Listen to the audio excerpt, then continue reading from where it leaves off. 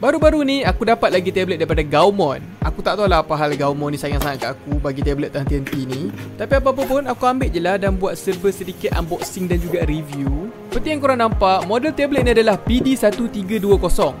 First impression aku masa aku dapat kotak ni adalah bagi aku dia tak adalah besar sangat dan dia tak adalah kecil sangat tapi dia macam sedap-sedap lah nampak. Size screen untuk model ni adalah 13.3 inci dan resolution dia adalah 1920 darab 1080. Antara barang-barang yang boleh dapat sekali dengan tablet ni adalah leather cover yang digunakan sebagai cover kepada skrin dia nanti.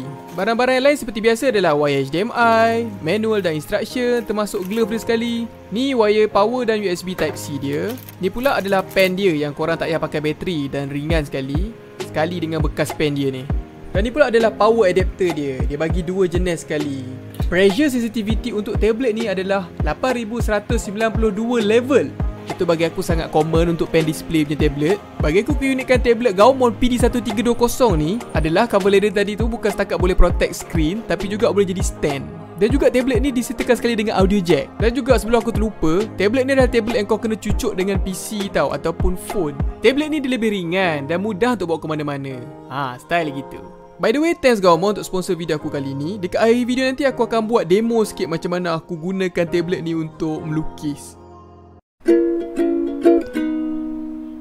Accident adalah benda yang kita minta dia jadi Tapi dia tak sengaja terjadi Dan sekarang entah macam mana dia dah jadi cerita aku banyak betul lah jadinya kan. Accident dalam cerita aku ni tak adalah accident besar sangat. Just minor accident sepanjang tempoh aku budak-budak lah. Dan accidentnya pun accident bersikal je Bukan accident motor kata motor Tak ada patah-patah tulang ataupun benda-benda serius pun. Tapi accident dia melibatkan seorang cedera lah. Antara aku cedera, basikal aku cedera Ataupun siapa-siapa lah orang lain cedera kan.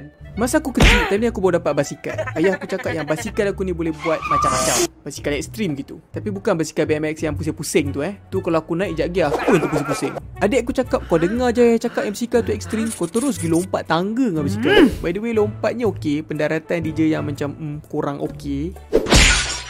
Masa satu time ni aku tengah duk praktis lagi buat basikal tu tau tak Dan dan aku seriously panik habis lah Ada budak ni dia pergi main kat laluan yang aku nak lalu dengan basikal tu Dan sebenarnya laluan tu besar Dan aku cubalah nak elak dari telangga dia Tapi apakan daya Kepanikan aku masa tu dah mengawal minda aku secara keseluruhannya uh, Tuan ada budak kat laluan ni tuan Macam mana ni?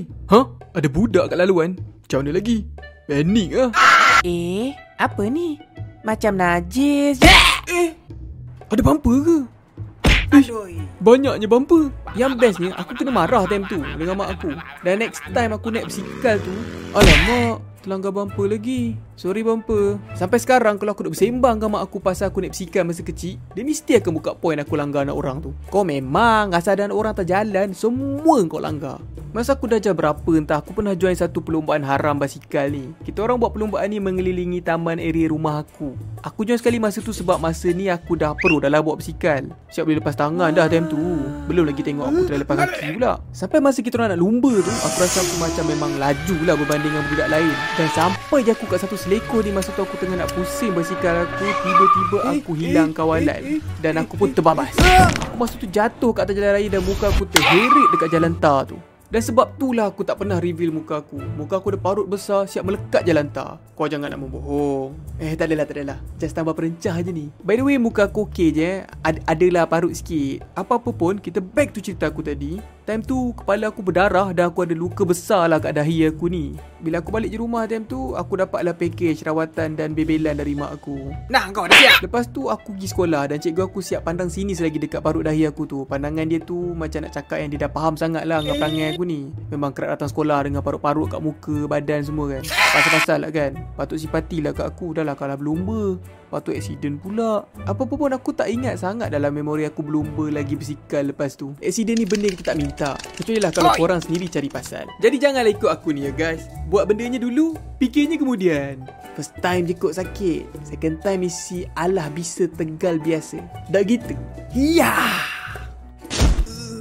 boleh lah. Tak adalah sakit sangat kali ni. Thanks korang untuk tengok video aku dari awal sampai habis. Pendek je pun video ni tak panjang mana sangat. Apa-apa pun nanti kalau dapat sambutan aku boleh buat cerita aku accident motor pula ke kan. Tapi itulah tak nak share pasal motor sebab takut ada orang jadi fobia lah ke naik motor nanti. By the way pasal bersikal tu kan. Aku time sekolah dulu setiap hari aku pergi sekolah naik bersikal. Pergi rumah kawan naik bersikal, pergi kedai naik bersikal. Tu memang transport utama aku lah. Pernah kena curi lah, pernah rosak, tayar bocor, rantai jatuh. Semua benda tu memang macam-macam benda jadi lah masa naik bersikal dulu. Dah besar ni aku rasa macam dah berpuluh tahun dah aku tak naik bersikal. Aku tak tahulah kalau aku pandai lagi naik ke tak. Boleh ke kita lupa cara naik bersikal lah? Hmm, tak lah. Kena try. Apa pun tu je lah kot. Nantikan next video. Thanks Gaumau sebab bagi aku lagi satu tablet iaitu PD1320 ni. Tabletnya okey dan best. Cuma aku lagi suka tablet sebelum ni lah sebab dia lagi besar. Okay, bye.